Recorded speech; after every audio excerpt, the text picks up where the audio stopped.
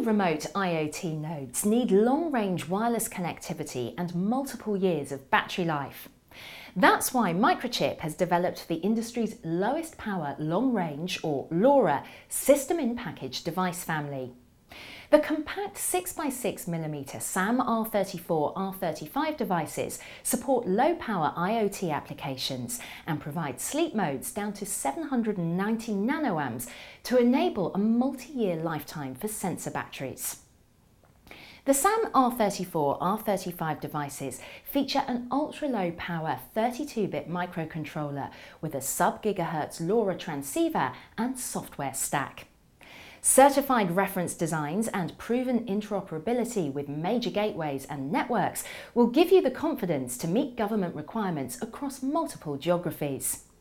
To find out more about long-range IoT and SAM R34, check out the website today.